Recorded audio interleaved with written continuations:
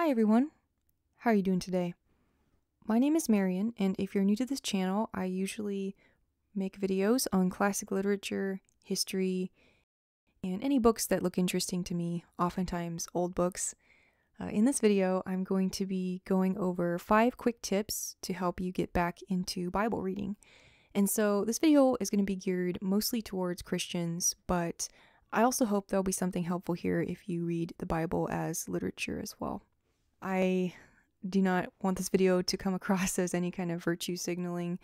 Um, actually, reading the Bible has been one of the hardest things for me personally. Um, I read the Bible throughout K through 12 and then took like a 10 year break where I just wasn't reading the Bible at all or very, very infrequently. So, yeah, I'm just getting back into it or have got back into it since I think the last three years, two to three years. Um, and there's been some things that have really helped me, and I just wanted to share them. Um, these are not original ideas. I've collected them from various uh, teachers and pastors and priests. So uh, I uh, hope hope you find this helpful, and let me know if you have any uh, tips you'd like to share in the comments. So tip number one is find a format that works really well for you. I'm going to show you uh, the first Bible or one of the first Bibles I ever read and this is a King James version. It's a very beautiful uh, presentation. Um, but one challenge I've had or had with this Bible is that, as you can see, it's got pretty dense text and the columns are very, very small. It's also a pronunciation Bible, so it's got all of the names with their pronunciation markings. And this is a great book. Um, again, if you're wanting to learn how to pronounce the names, if you're just wanting a more, you know, beautiful presentation. But I personally have found it difficult to read this, and I really found it to be uh, quite a struggle, actually, for me personally. So, uh, and, and then another Bible that I grew up reading was my uh, New International Version, and and this isn't a video on translations, by the way. This is just talking about the visual and reading format. And this Bible, this uh, NIV, had very, very tiny font. Um, it's like probably size 7 or 8, to be honest, if we're talking in web pixels. So, not super readable either. Um, so what I've found super helpful getting back into Bible reading is a paragraph or reader's Bible. The uh, translation I've been reading the last year or so is um, this New King James Version single column, and it is really, really nice because it's very much like a book, like a kind of book that you would read um, there's no columns. All of the poetry and the songs are uh, set as verses. And so, really have found it's made a huge difference. Before I was reading this, I was also using Bible Gateway, which is pretty much the same thing except digital. So, that's also an option. Um, but yeah, I know some people I've talked to didn't realize that Bibles are published this way, but uh, you can find this for New King James Version and also uh, King James Version. So I'll show you that one because I thought I should have a King James in the same format. This one is the New Cambridge Paragraph Bible, King James Version with Apocrypha. And it's the same same kind of format. Uh, has a serif font, which is a little more uh, classic looking uh, definitely something to consider if you're struggling with the traditional column format. Tip number two is alternate between the Old Testament and the New Testament. So it's pretty uh, tempting to read the Bible as one book from Genesis to Revelation. Um, but something that I've learned, which is helpful for me, is reading a book of the Old Testament and then reading a book of the New Testament because they are pretty different in style and focus.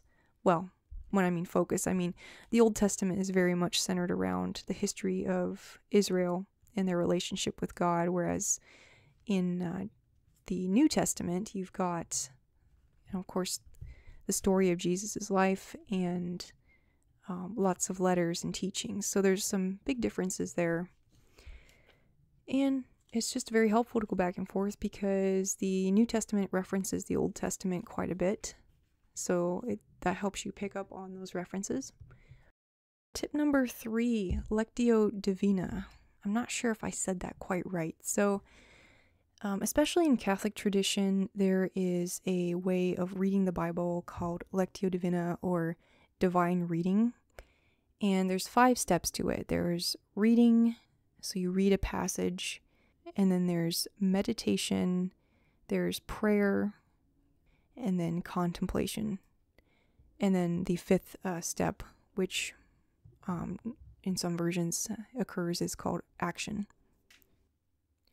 I don't always read using Lectio Divina, but it, it certainly helped me um, getting back into Bible reading.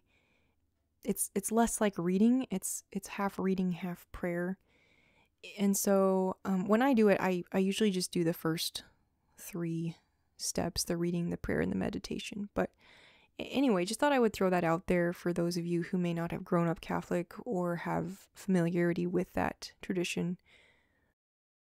Tip number four read philosophy and history. So, for the longest time, I really stayed away from philosophy because I didn't understand why I would need it.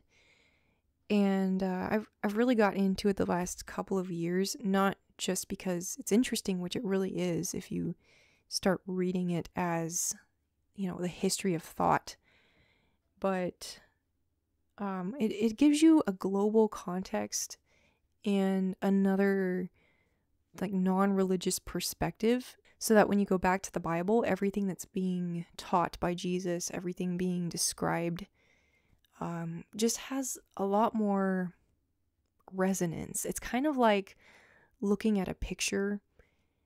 Um, like if you if you don't read philosophy, the picture kind of blends into your your own worldview that you already have. Maybe if you grew up religious, um, but putting it against a backdrop of philosophy and and other thought, it just it is really illuminating in a sense. It it really gives you that contrast that helps you appreciate um, the teachings a lot more. The, a couple of uh, genres of philosophy I would recommend would be Stoicism and existentialism. There's a lot of overlap in some of those teachings. Um, obviously, not a one-to-one overlap, but it's it's really good stuff. A nice gateway if you're going from Christian writing to philosophy.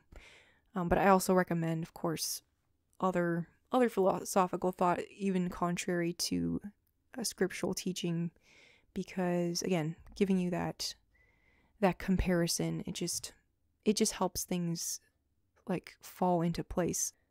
Tip number five is read what you can. So I try to read daily or at least four or five times a week.